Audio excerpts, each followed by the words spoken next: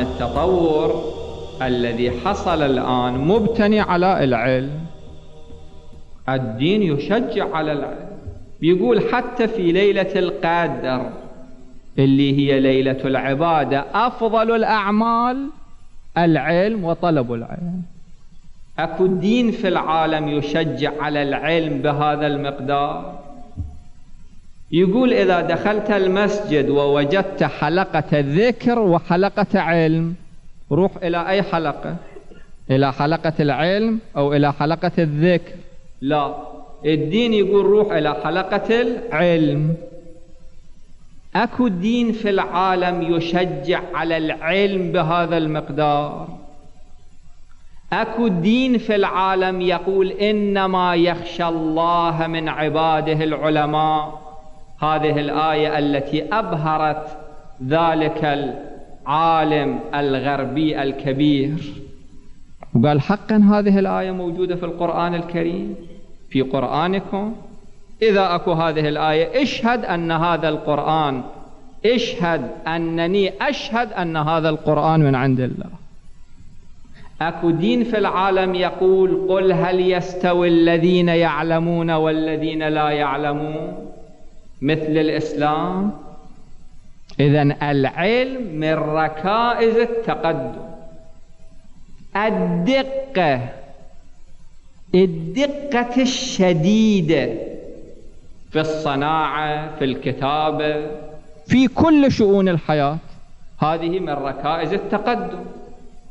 الدين يقول حتى عندما تبني اللحد هذه اللبنات أتقن وضعها. لحد هذا ميت رايح. الآن هذه اللبنات توضع جوا في القبر مو الطبقة الظاهرية لا داخل القبر في اللحد الذي يكون باتجاه القبلة. الميت تخلوه هناك وتخلون لبنات ثم تطلعون وتسدون فوهة القبر.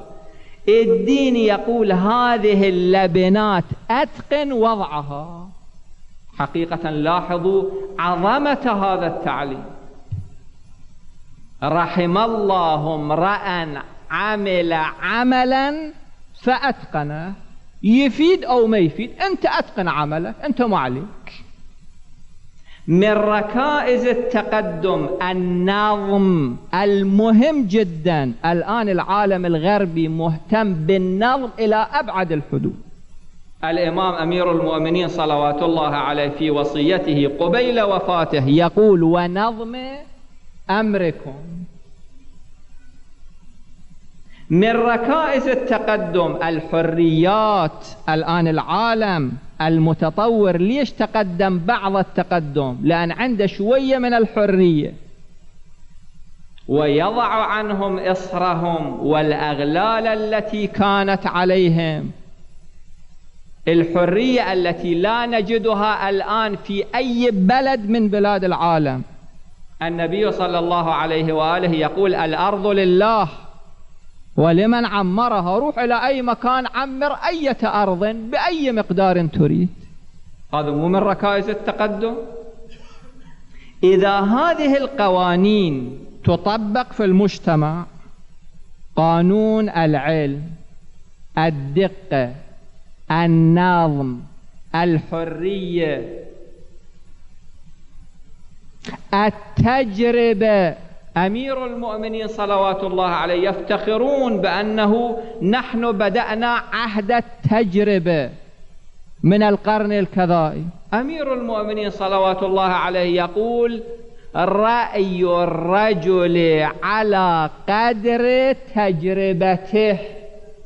لاحظوا دقة هذا الحديث. بقدر التجربة يكون النضج ويكون الرأي.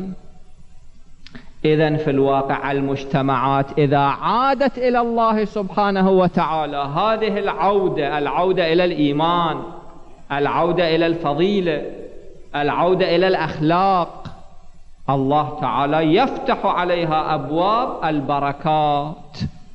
ولو أن أهل القرى آمنوا واتقوا لفتحنا عليهم بركات من السماء والأرض.